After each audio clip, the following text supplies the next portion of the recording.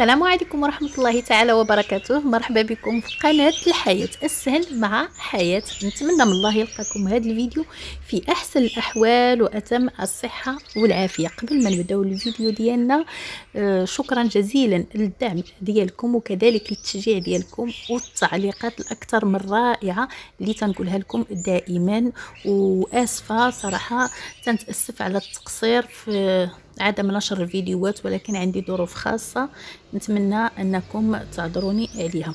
آه على ما أظن أنكم عرفتوا آه، الفكرة ديال اليوم من الصور. هي تكاثر الكرافس عن طريق بقايا حزمة الكرافس أو بقايا اللي تنتخلصوا منها. في النفايات نحاولوا نكاثروها ونحصلوا على شجرة الكرافس أو لا نبتة الكرافس انطلاقا من النفايات اللي تنتخلصوا منها وبدون بذور تنأكد عليها بدون بذور لأن الأغلبية تيتشكى عدم آه، توفر عدم توفر على البذور فلهذا علاش لا؟ كيف ما تلاحظوا أنها طريقة ناجحة وسهلة وفي إمكان أي واحد يعملها.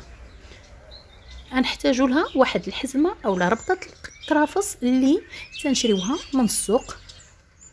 نحاولوا نقطعوا قاعدة النبات من الأسفل على بعد خمس سنتيمترات تقريبا. ونحتفظوا بالأوراق والأغصان في الثلاجة إلى حين الحاجة لتحضير الشوربة الحريرة أو في السلطات حسب عندكم كيف ما تلاحظوا. وجرت العادة أننا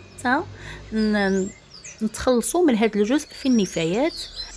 هاد المرة إن شاء الله غنستغلوه أحسن استغلال. نحاولوا إعادة غرسه.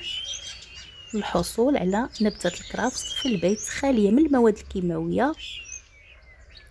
صحية. ومن يدينا كيف ما تنلاحظوا انها ما تتوفرش على جذور غنحتاجوا واحد الكوب زجاج اولا قارورة زجاج نوضع فيها كمية من الماء شريطة أن الماء يلامس الجزء المقطوع تقريبا بسنتيم أو لا جوج سنتيم. نحاولوا ما أمكن أننا ما نوصلوش له الماء أكثر من هاد المسافة ديال سنتيم أو لا جوج سنتيم. باش ما يتعفنش لينا الغرس. هانتوما كيف ما تتلاحظوا النتيجة اللي حصلنا عليها بعد يومين. هنا بعد ثلاث أيام حاولت نصور لكم بالتدريج كل يوم. تنصور ناخذ لكم صورة. هانتوما يا. يوم عن يوم حتى يزداد النمو ديال النبات. كيف ما تلاحظوا وضعته بجانب النافذة. مكان مضيء. نوضعه في واحد المكان اللي يكون مضيء ولكن بعيد عن الشمس المباشرة. هانتوما كيف ما تلاحظوا كمية الجذور اللي حصلنا عليها.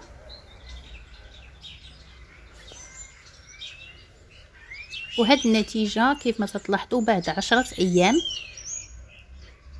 هانتوما تلاحظوا نتيجة رائعة وحتى مدة قصيرة تنحصلوا على شتلات من الكرافس عكس التكاثر بالبذور اللي تياخذ لنا مدة طويلة تقريبا ما بين ستة حتى لثمانية أسابيع بالحصول على الشتلات أي ما بين شهر ونص حتى لشهرين. هنا في مدة عشرة أيام مدة وجيزة تنحصلوا على هاد النتيجة. ممكن نحتفظوا بهم بهذا الشكل في الماء. هي هي نحاولوا نغيروا الماء تقريبا كل ثلاثة حتى أربعة أيام نغيروا لهم الماء. وكل ما احتاجينا نقطعوا الجزء العلوي وهو غينمو بشكل تدريجي وممكن نغرسوهم في التربة. هنا هذا قشور البيض المجفف والمطحون تنوضعو كتسميد كسماد للتربة. هنا غنحاول نغرسهم في قصيص من الأفضل أننا ننقلوهم للتربة. إذا كانت عندنا الإمكانية إيه بشرط أننا نكونوا نتوفر على واحد الوعاء اللي يكون فيه ثقوب من الأسفل أي جيد التصريف ونديروا خليط من تربة الحديقة جزء من الرمل وكذلك سماد عضوي أي روث الحيوانات اللي تيكون مرت عليه أكثر من سنة أي الغبار أو المزيغ. هنا ضفت كمية من قشور البيض المجفف اللي ذكرت لكم من قبل وكمية من بقايا القهوة أو البن. حتى هي مجففة في الشمس ومعقمة كذلك بالشمس. وتنحاولوا نخدموا التربة ديالنا مزيان. ونقلوا الشتلات ديالنا. إلا تلاحظوا أنني في التعليق تنحاول ما أمكن نبسط الدارجة المغربية وتندخل فيها بعض الكلمات اللغة العربية لأنهم تيجيوني تعليقات تابعين القناه من دول أخرى عربية اللي تصعب عليهم يفهموا الدارجة المغربية. هنا تنشكلوا حفر. ونتمنى تكون آه، آه، الفيديو يكون مبسط ومفهوم للكل.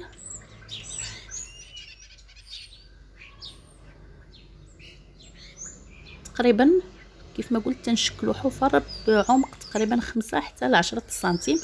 تتلاحظوا ما شاء الله كمية الجذور اللي حصلنا عليها ونمو الشتلات رائع صراحة واحد الأمر اللي مبهج. حاولوا عافاكم عافاكم حاولوا آه تستمتعوا بهاد النعمة اللي عطاها لنا سيدي ربي وتجربوا هي جربوا هي قوموا بالتجربة وعجبكم الحال مزيان ما عجبكمش الحال شفتوه ما يستحقش. مرة أخرى ما تعاودش راه واحد الشعور لا يوصف. واحد الشعور رائع ملي انت تغرس شي حاجة بيديك وبخصوص إلا كانوا عندكم الوليدات حاولوا تشاركوهم في هاد التجربة. حتى هما ياخذوا شي حاجة من شغل يديهم ويعرفوا أهمية الزراعة والمنتوجات اللي تتوصل للبيت ديالنا الدورة ديالها كيفاش تتكون. هنايا واحد النقطة مهمة خصني نركز عليها هو أننا ملي تنوضعوا الشتلات في وسط التربة؟ كيف ما قلت من قبل في الفيديو السابق ضروري ما نضغطوا عليهم مزيان ونحاولوا نضغطوا بشكل كبير باش ما يتسربش لينا الهواء أو البرد للجذور لأن غتسبب لينا في التعفن النبتة. ضروري ما نضغطوا عليها بهذا الشكل من الجوانب نضغطوا التربه ما أمكن ونسقيوهم سقي خفيف ونوضعو القصيص اولا الوعاء في واحد المكان اللي يكون آه تحت أشعة الشمس أي أشعة الشمس المباشرة. ونسقيوهم كلما جف سطح التربة. نحاولوا في هذه الأيام الأولى نسقيوهم باستمرار حتى يظهر لنا تأقلهم تأقلمهم مع الجو الجديد.